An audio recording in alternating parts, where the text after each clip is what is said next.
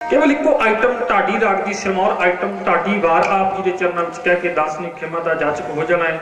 ਆਓ, ਬਹੁਤ ਹੀ ਸੀਮਤ ਜੇ ਟਾਈਮ ਦੇ ਵਿੱਚ ਇਤਿਹਾਸ ਕਹਿੰਦਾ ਹੈ ਕਿ ਸਰਦਾਰ ਮਹਾ ਸਿੰਘ ਨੇ ਆਪਣੇ ਸਾਥੀਆਂ ਦੇ ਸਾਹਮਣੇ ਬੜੀ ਜ਼ਬਰਦਸਤ ਔਰ ਤਕਰੀਰ ਕੀਤੀ ਕਹਿਣ ਲੱਗਾ, ਜ਼ਰੂਰਤ ਹੈ ਕਿ ਕੋਈ ਨਾ ਕੋਈ ਸਿੰਘ ਸੂਰਮਾ ਕੋਈ ਉੱਠੇ, ਜਿਹੜਾ ਇਹ ਚਿੱਠੀ ਸਰਦਾਰ ਹਰੀ ਸਿੰਘ ਨਲਵੇ ਦੇ ਕੋਲ ਲੈ ਕੇ ਜਾਵੇ। ਇਹਦੇ ਨੇ ਸਿੰਘ ਸਰਦਾਰ ਅਜੇ ਬੈਠੇ ਸੋਚਾਂ ਵਿੱਚ ਨੇ ਕਿ ਫੌਜਾਂ ਦੇ ਵਿੱਚ ਬੈਠੀ ਹੋਈ ਇੱਕ ਭੈਣ ਜਿਹਦਾ ਨਾਮ ਇਤਿਹਾਸ ਵਿੱਚ ਬਹਾਦਰ ਹਰਸ਼ਰਨ ਕੌਰ ਕਰਕੇ ਆਉਂਦਾ ਹੈ। ਇਹ ਹਰਸ਼ਰਨ ਕੌਰ ਹਿੰਦੂ ਪਰਿਵਾਰ ਦੇ ਵਿੱਚੋਂ ਜੰਮੀ ਪਲੀ, ਵਿਆਹ ਵੇਲੇ ਕਹਿੰਦੇ ਨੇ ਦਾ ਡੋਲਾ ਮਿੱਟੀ ਦੇ ਪਠਾਨ ਖੋ ਕੇ ਲੈ ਗਏ ਸਨ, ਜੋ ਹਰ ਸਿੰਘ ਨਲਵੇ ਨੇ ਵਾਪਸ ਕਰਵਾਇਆ।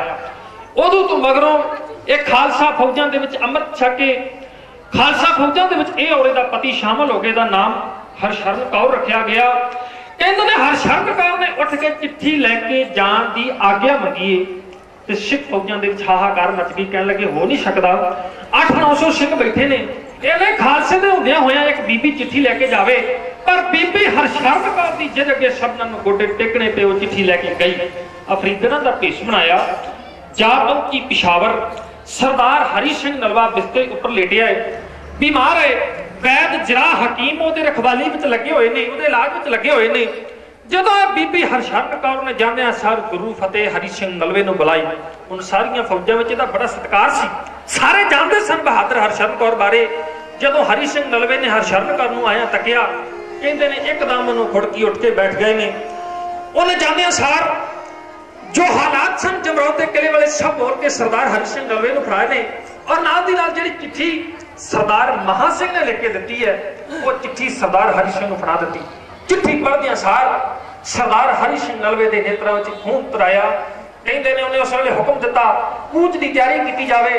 ਕਹਿੰਦੇ ਨੇ, ਵੈਦ ਹਕੀਮ ਜਰਾ, ਉਹਨਾਂ ਨੇ ਇਨਕਾਰ ਕੀਤਾ, ਮਹਾਰਾਜ, ਤੁਹਾਡੀ ਜਾਨ ਦੀ ਖਾਲਸਾ ਫੌਜਾਂ ਨੂੰ ਬੜੀ ਲੋੜ ਹੈ ਸਿੱਖ ਰਾਜ ਨੂੰ ਤੁਹਾਡੀਆਂ ਜੇ ਬੜੀਆਂ ਲੋੜਾਂ ਹੈ ਨਲਵੇ ਸਰਦਾਰ ਨੇ ਅਗੋਂ ਉੱਤਰ ਦਿੱਤਾ, ਕਹਿਣ ਲੱਗਾ, ਜੇ ਦੇਸ਼ ਗੁਲਾਮ ਹੋ ਗਿਆ ਹਜ਼ਾਰਾਂ ਨਲੂਏ ਗਹਿਰਾਂ ਦੀਆਂ ਕਠਪੁਤਲੀਆਂ ਬਣ ਜਾਣਗੇ।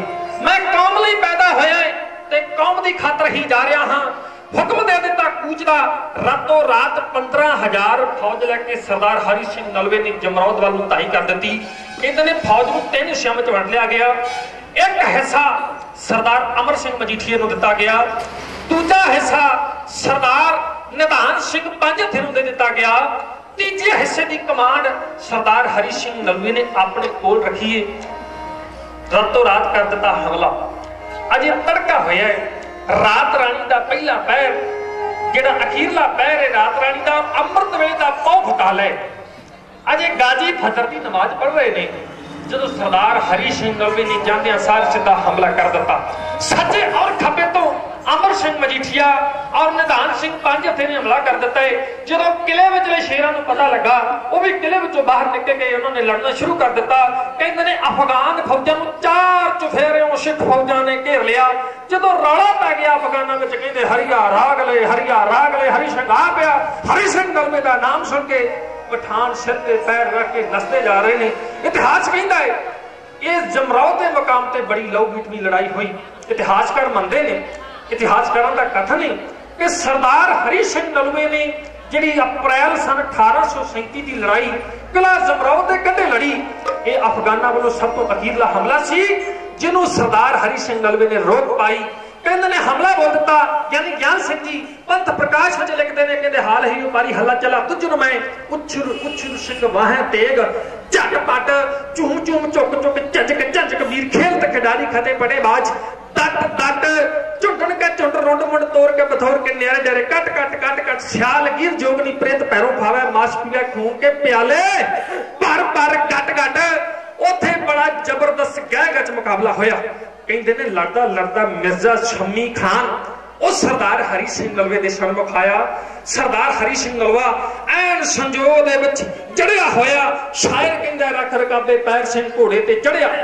ਦੋ ਧਾਰਾ ਫੌਲਾਦ ਦਾ ਹੱਥ ਖੰਡਾ ਫੜਿਆ। ਜਿਹਨੂੰ ਕਰ ਕਰ ਮਿਹਨਤਾਂ ਉਸਤਾਦਾਂ ਘੜਿਆ, ਉਹਦੀ ਪਿਆਸ ਬੁਝਾਈ, ਜ਼ਹਿਰ ਵਿੱਚ ਰਤ ਮੰਗੇ, ਸੜਿਆ, ਉਹਨੇ ਇੱਕ ਤੋਂ ਦੋ ਕਰ ਛੱਡਿਆ ਜੋ ਅੱਗੇ ਅੜਿਆ, ਸਰਦਾਰ ਹਰੀ ਸਿੰਘ ਦੋ ਤਾਰੇ ਖੰਡੇ ਨਾਲ ਅੱਗ ਵਧਾ ਸੀ।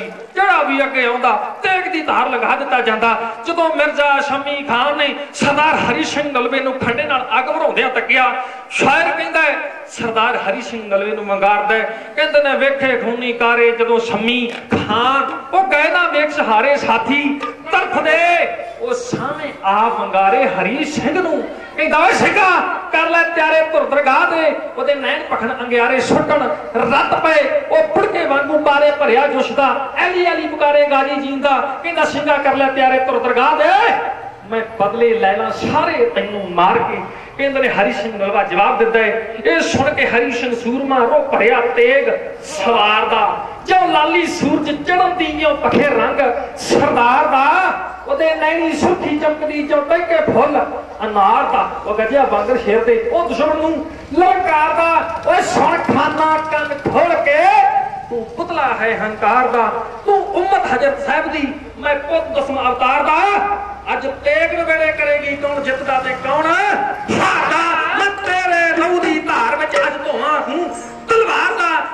ਮਿਰਜ਼ਾ ਸ਼ਮੀ ਖਾਨ ਵਧਿਆ ਅਗਾ ਹਰੀ ਸਿੰਘ ਸੂਰਮਾ ਕਹਿਣ ਲੱਗਾ, ਖਾਲਸੇ ਦਾ ਕੰਮ ਨਹੀਂ, ਪਹਿਲਾ ਵਾਰ ਕਰੇ। ਚੜ ਕੇ ਆਏ ਆ ਪਹਿਲਾ ਵਾਰ ਕਰ ਲੈ ਕਹਿੰਦੇ ਨੇ ਤਿੰਨ ਵਾਰ ਮਿਰਜ਼ਾ ਸ਼ਮੀ ਖਾਨ ਨੇ ਸਰਦਾਰ ਹਰੀ ਸਿੰਘ ਨਲਵੇ ਉੱਤੇ ਕੀਤੇ।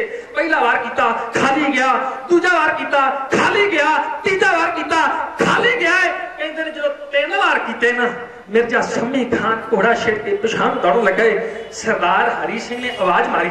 ਕਹਿਣ ਲੱਗਾ, ਖਾਨ ਸਾਹਿਬ ਜਦੋਂ ਕਿਸੇ ਤੇ ਭਾਜੀ ਪਾਈਏ ਨਿਯੰਤਰੇ ਦੀ ਉਡੀਕ ਕਰ ਲੈਣੀ ਚਾਹੀਦੀ ਏ ਤਿੰਨ ਵਾਰ ਤੋਂ ਖਾਲਸੇ ਤੇ ਕੀਤੇ ਨੇ।